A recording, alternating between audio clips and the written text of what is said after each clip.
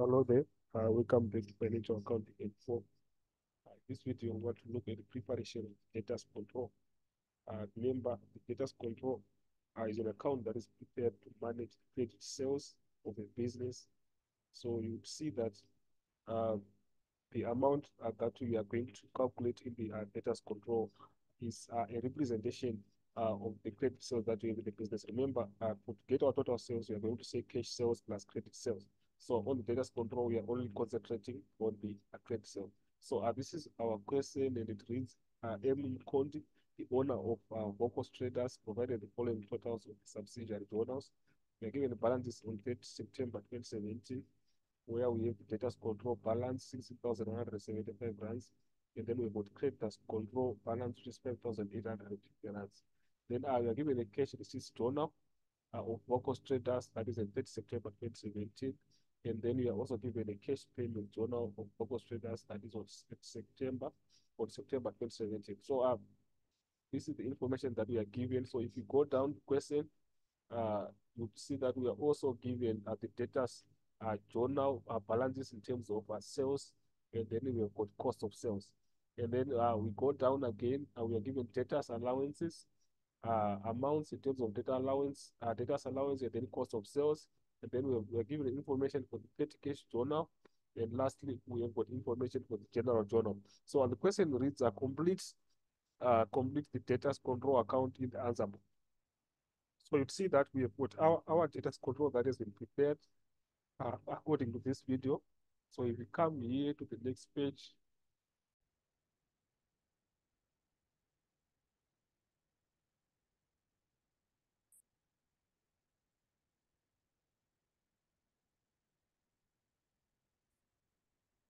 So you would see that this is our debtors control, and uh, we are obviously going to start with our open balance, uh, which is going to be our balance BD, which is obviously going to be on the debit side. So we have our balance BD on the debit uh, side. And then uh, we go back to check in terms of the day of that uh, balance BD and then the amount. So if you go back to the question, you'll see that that balance we are given it at the beginning of the question. So we can go up to check that balance. So you see that the balance that we have is, is our open balance 16,175. So this is uh, the balance that we have.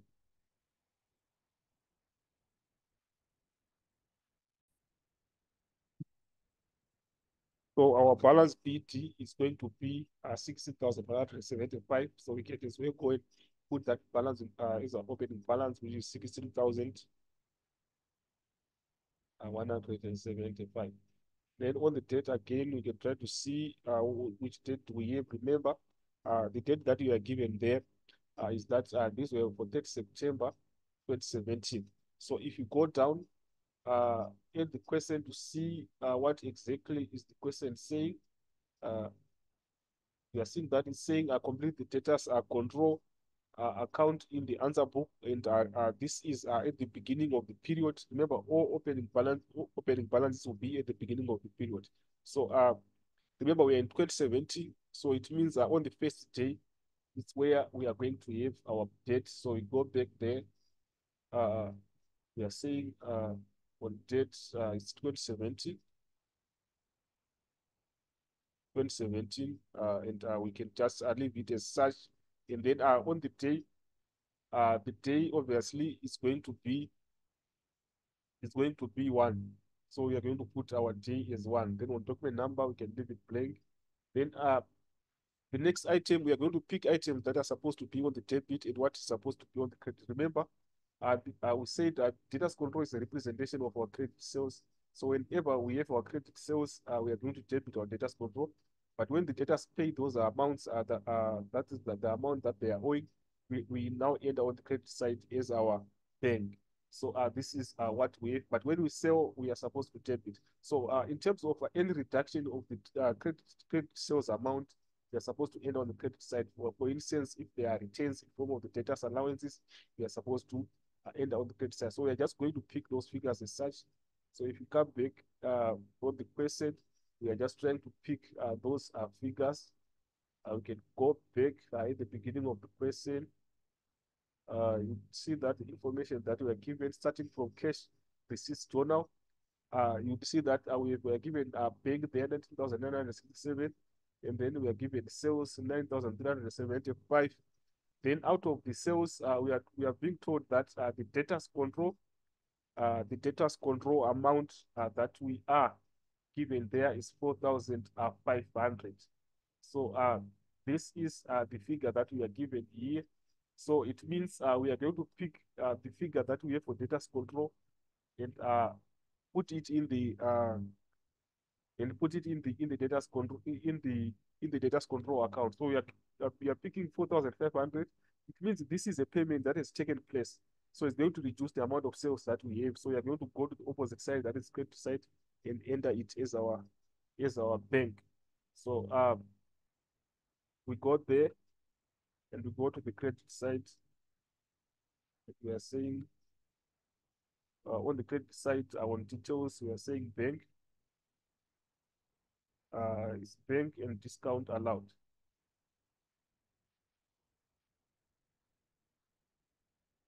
Bank and discount allowed.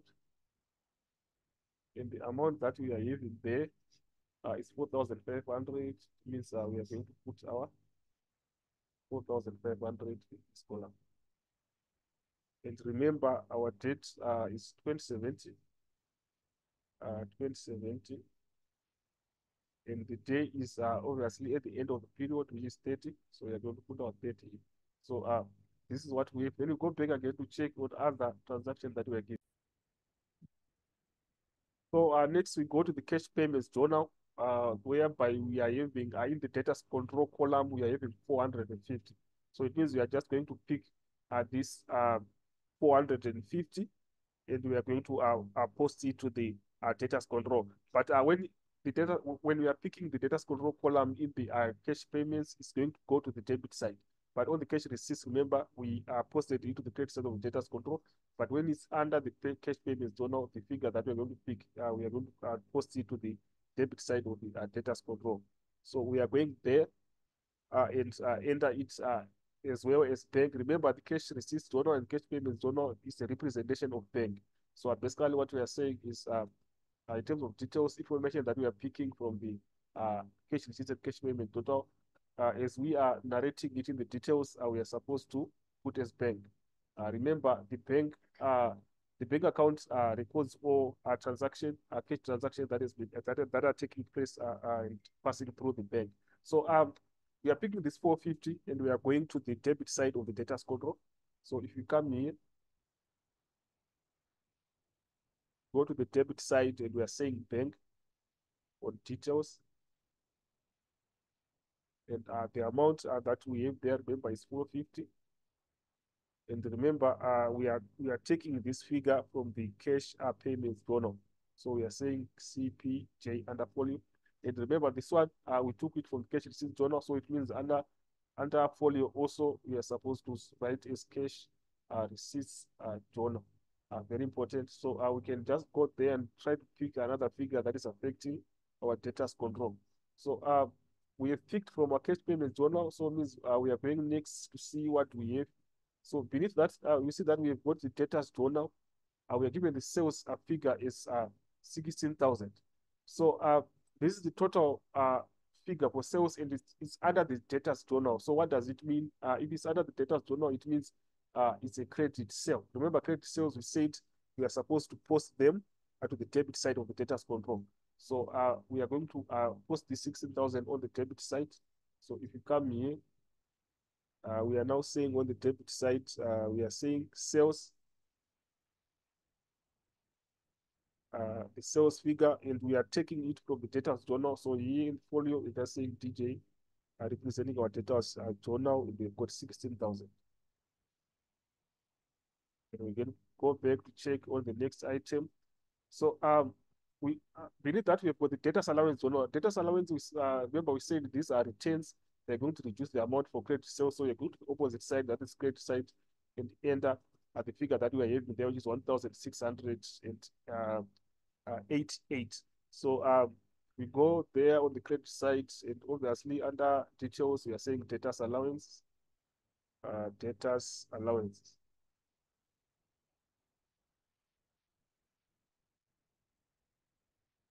And then on the uh, on the uh, folio, we are saying we are taking this figure from debtors allowance journal.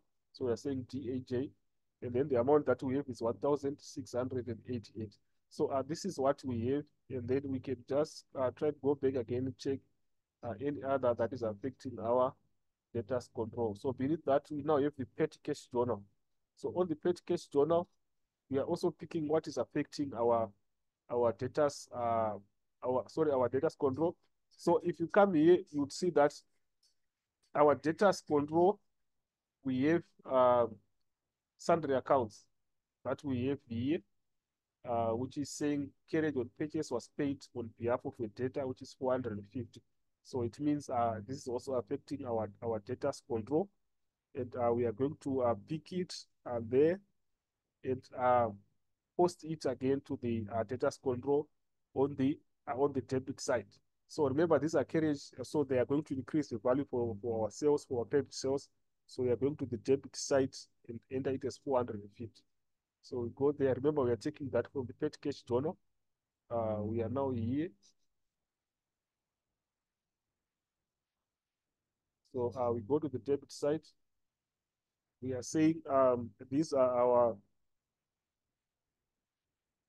this is uh, we are taking this one from the petty cash journal, so we are just saying petty cash. Uh, petty cash. And then uh, here is uh, on folio, we are saying petty cash journal, and then the amount that we have is 450.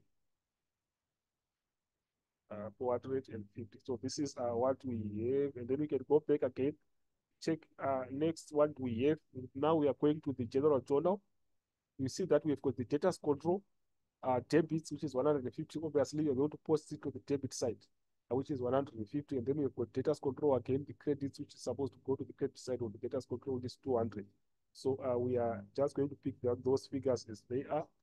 As we go now to the debtors control, and just post them as uh, they are represented there. So on the debit side, remember, we've got our journal debits, our journal debits, uh, and uh, we are taking this amount from the general journal. And um, the amount that we have there is 150. And also we have another one uh, that is our journal, uh, our journal dates, uh, which are on the credit side, and the amount is 200. So here uh, we are saying journal. This one is not journal uh, uh, debits, but it's journal debts, uh, representing our credits and then uh, we are taking the amount from the general journal again, and then uh, the amount that we have is 200. So uh, these are the uh, entries that we have. So if you go back, you see that this is the, these are the last items that we have uh, in the present. So it means we've exhausted all the items that are affecting our debtors control. Then from there now we can balance our account. Uh, we can try to put our double lines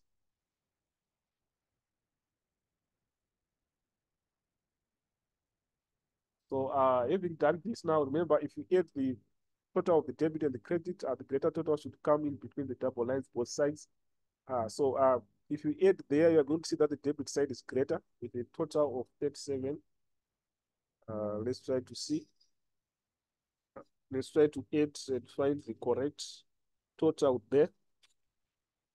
So uh, if you add, you're going to see that uh, the total, uh, let's try to add again. The total is going to be 32,225.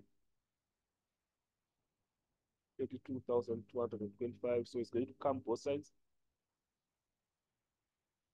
And then we subtract uh, all items that we have on the credit side. That is sub subtract 200, uh, you subtract 1,788, you subtract 4,500. Then you are going to get your balance CD. And obviously, here, the amount that you are supposed to get there is 26,837. So remember, this balance sheet is also supposed to come on the opposite side below uh, the double lines. So here we are now saying our balance BD, an amount of 32,000, uh, an amount of 32,225. So uh, this marks the end of our question. Uh, thank you for listening. Those who have subscribed, please subscribe and share. We'll meet again in the next video.